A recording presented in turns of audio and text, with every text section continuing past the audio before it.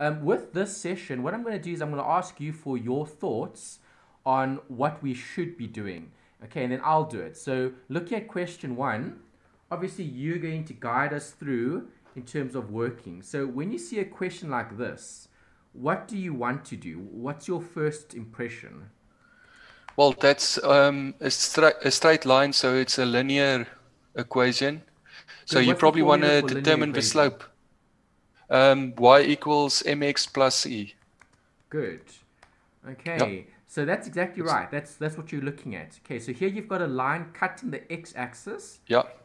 What point does that give you in terms of its um, uh, zero and four? Yes. Okay. Yeah. All right. So uh, you said zero and four. Um, oh, obviously, yeah, x is first, so it will be 4 and 0. Yes. Okay, so yeah.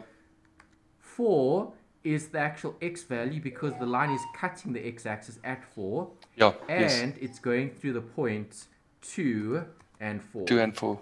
Okay, so when you have two points, then you can use the m equals brackets y2 minus y1 over x2 minus x1.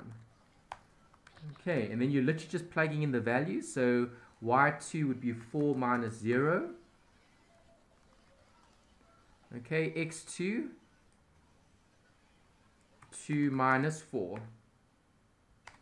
Okay, so I'm just using the point that I was given. I'm using that as my second point, so point 2. And that's point 1. Okay, so 4 minus 0 over 2 minus 4 will give you an m value of minus 2. Okay, so now that you know m is minus 2, how am I going to get c? Do you know? Okay, so you uh, basically going to uh, plug in the values of x and y. Yes, perfect. So you yep. can decide which option uh, you want to use. If you want to use that option or that option, it doesn't matter. Either option works. Okay, you, you're going to just plug in the x and the y as you said. Um, so I'm just going to use the first one. Okay, so yep. 0 equals minus 2 brackets, 4 close bracket plus c. Okay, here you've got 0 equals minus 8 plus c. So 8 would equal c, so c is obviously 8. Does that make sense? Yep. Okay, so then final answer would be option three.